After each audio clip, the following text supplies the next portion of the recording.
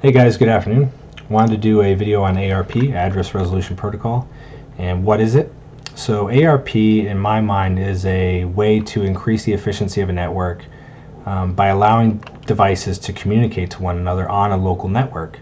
So when I think of an IP address, I tend to think of routing over networks, over the internet, um, between networks. But when I think of a MAC address, I think of local communication.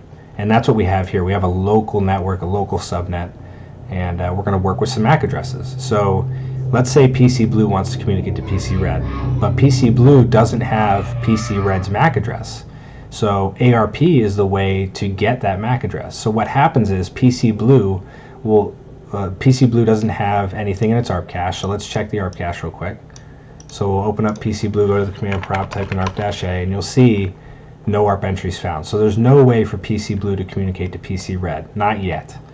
So how do we fix that? So PC Blue will send out an ARP request, which is a broadcast message, and that message will make it to switch zero. And then because it's a broadcast message, it goes out all ports. So the message will go out fast Ethernet 03 and out fast Ethernet 02.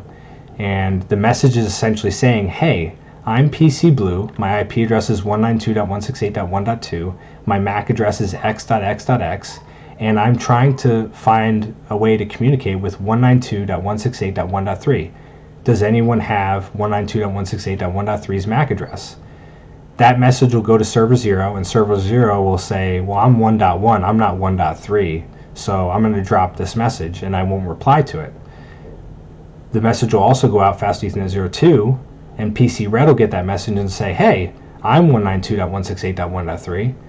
I should give them my MAC address. So PC Red will send back a ARP reply, and it's a unicast message, and it'll send it directly to PC Blue, and PC Blue will update its ARP cache with PC Red's MAC address and IP address, and then you can have communication between PC Blue and PC Red. So let's uh, let's do this. We're going to ping from PC Blue. We're going to ping 192.168.1.3. That's PC Red's IP address. We're going to ping it and bef- and I see you're you're probably noticing, yeah, we're getting replies, right? But what you're not seeing is before this ping even happened, an ARP request was sent out because I initiated a, a communication with 1.3. PC Blue was like, hey, my ARP cache is empty. I don't know who 1.3 is.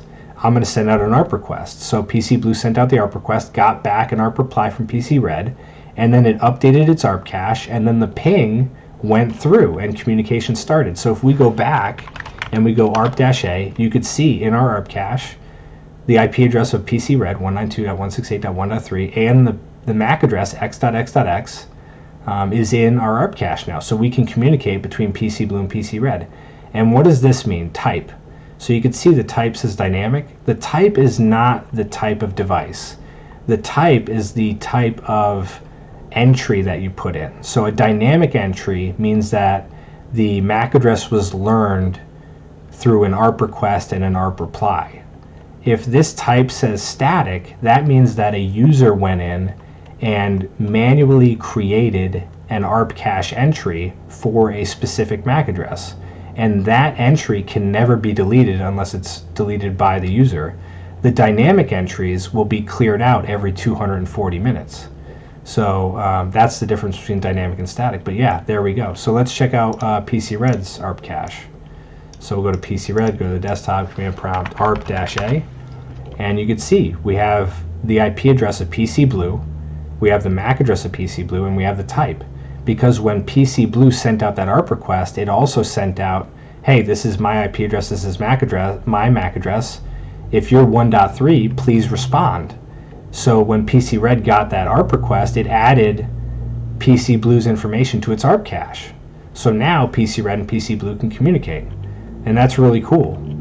Um, so yeah, that's uh, that's ARP, Address Resolution Protocol, and that's how it works. Thanks.